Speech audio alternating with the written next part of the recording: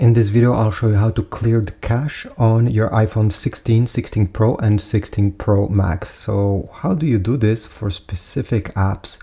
Well, unfortunately, the iPhone still does not have this feature built in. So you cannot simply go in settings and clear the cache. The only way how you can do this is to actually delete the app that you want. Let's say this one.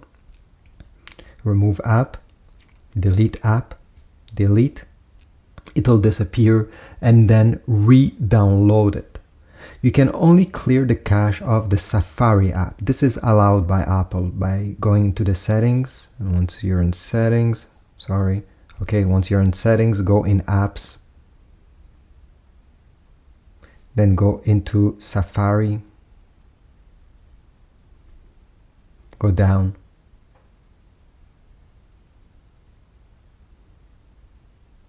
clear history and website data.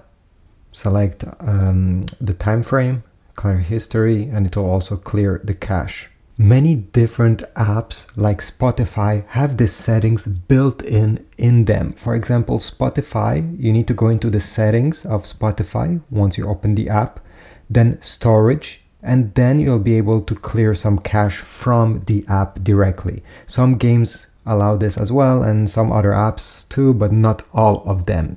Unfortunately, again, there's no direct way on how to do this. The only way is to delete, reinstall, or if the app itself allows this, well, usually in the settings of that app, you'll be able to find this option. Thanks for watching. If you have any other ways on how to do this, please write a comment down below or if this worked or if you're frustrated that Apple didn't include this in the new iPhone, please write a comment too.